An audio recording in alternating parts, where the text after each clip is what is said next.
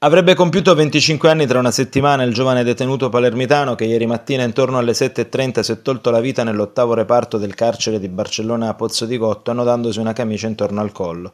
In quel reparto destinato all'articolazione mentale non è la prima volta che si verifica un dramma simile.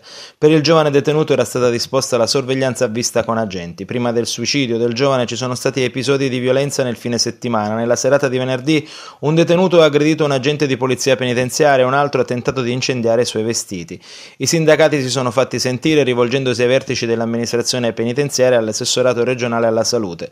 In particolare la FPCGL ha affermato che dopo gli ultimi episodi non si può nascondere la testa sotto la sabbia ed ha evidenziato che nel carcere di Barcellona Pozzo di Gotto esiste una situazione al limite dell'esplosivo, frutto dell'indifferenza generale. Inoltre viene sottolineata la situazione dei detenuti costretti nella sezione tutela della salute mentale che dovrebbero essere presi in carico dal Dipartimento di Salute Mentale e non trattati da normali detenuti. Urge quindi un protocollo tra amministrazione penitenziaria, regione e ASP per affrontare in modo serio il problema.